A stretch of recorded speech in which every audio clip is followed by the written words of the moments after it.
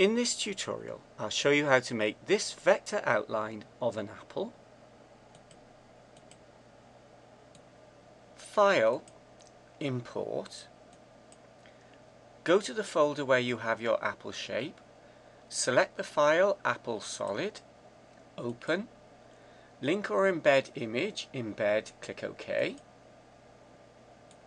move the apple to the center, click the Bezier Curves tool, put the first control point in the dimple at the top of the apple, the second control point at the side of the apple, the third control point at the bottom of the apple, the fourth control point on the other side, and when the first control point turns red, click. Click the Edit Paths tool, select a point and make it into a smooth node. Select the next point, make that into a smooth node. Select the next point, smooth node. Now the top point I want to be a corner point with handles.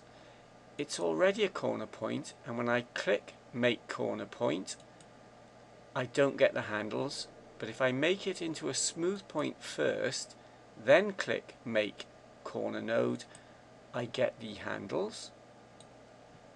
Drag on the handles to match the curves to the apple shape.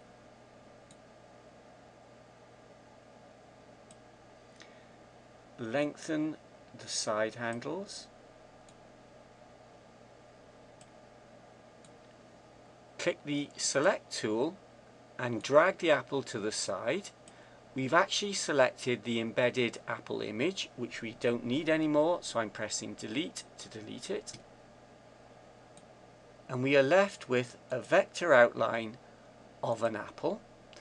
I'll put the image file and the vector outline file for you to download at my website www.freemovies.co.uk at the graphics channel there. Thanks for watching and goodbye.